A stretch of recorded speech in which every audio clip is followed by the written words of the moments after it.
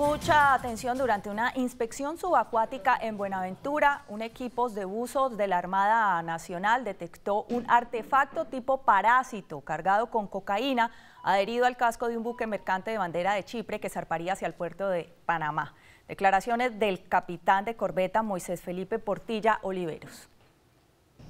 Este importante resultado se logró durante la inspección subacuática adelantada por un grupo de buzos especializados de la estación de guardacodas de Buenaventura a un buque mercante de bandera de Chipre que se encontraba en alistamiento de zarpe a su próximo destino en Panamá, detectando un artefacto tipo parásito adherido a su casco, donde se encontraron 57 panelas de clorhidrato de cocaína. Esta mercancía se encuentra valuada cerca de los 2 millones de dólares.